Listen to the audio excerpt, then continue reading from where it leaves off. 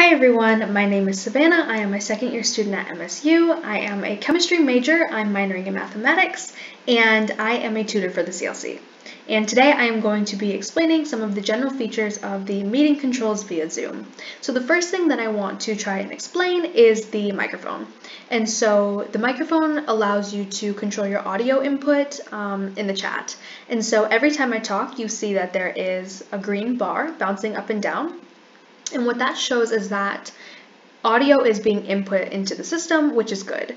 Um, and by clicking on the microphone, you will see that um, the microphone is in fact muted. And so by muting your microphone, no one else in the chat can hear you. And so this just allows you to monitor your audio into the uh, chat. So this up arrow allows you to select different microphones, select different speakers, but also to control your audio settings. And so you can test your microphone and you can also configure different equipments. The next thing that I want to explain is the video. And so right now you guys can see me because I am sharing my screen. However, if I choose not to share my screen, all you have to do is simply click on this icon and that will completely stop the video. And so there is no video input at all. And so if you are in a group with other participants, then they cannot see your screen unless you want to share it with them. So by hitting this up arrow, that allows you to select different cameras. And I already have a camera built into my computer. However, if you're on a different system, you can choose different cameras that you want to portray. Um, you can also choose different backgrounds and you can also go into video settings and configure your equipment in there. The next thing that I want to explain is the participants. And seen in the upper right hand box is a number and that shows the number of participants in the chat. And so right now there's only one participant, which is myself. Um, however, if there are other participants that join, then you will see this number will be greater than one. And so by clicking on that, that shows all of the participants that are found in the chat. Myself being the host um, is found at the top.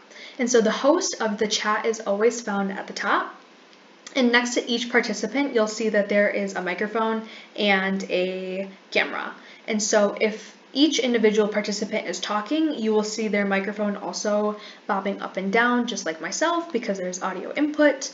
Um, and if they choose to share their video, then you will also see that they're able to do so.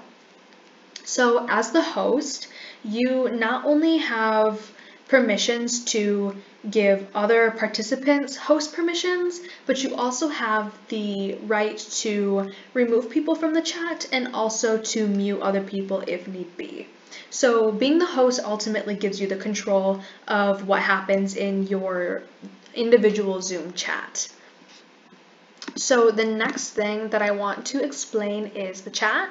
And so by clicking on this chat feature, um, you'll see that there is a Zoom group chat. And so anything that I type here, let's just say hello, every single person in the meeting will get the same message. However, you also have the ability to send private messages and you can do so by simply clicking on this and you can chat with only the host, you can chat with individual people in the chat, and you can also chat with every single person publicly like I have just shown.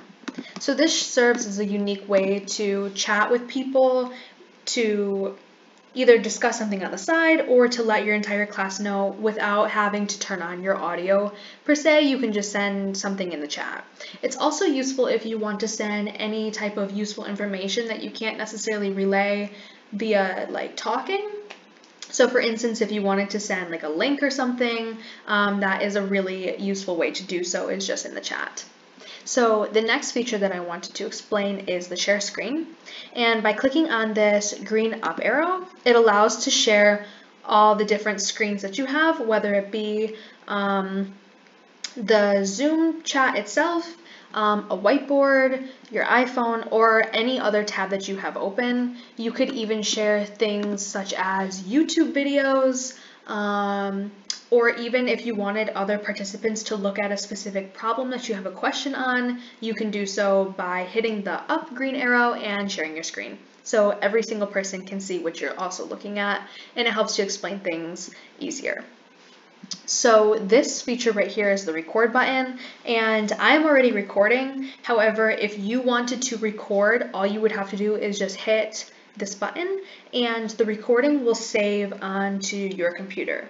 It's also noteworthy to mention that only the host can record. So if you are a, part a participant, all you have to do is simply ask your host if they are okay with recording the meeting and then either emailing it or uploading it via D2L or whatever. So then that way the participants can also have a recording of the Zoom chat.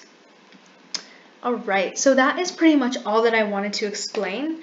Um, I hope that this video serves as a good tool for you guys to be able to navigate Zoom and the meeting controls a little bit better. Thank you guys so much for tuning in, and as always, go green, go white, and keep learning MSU.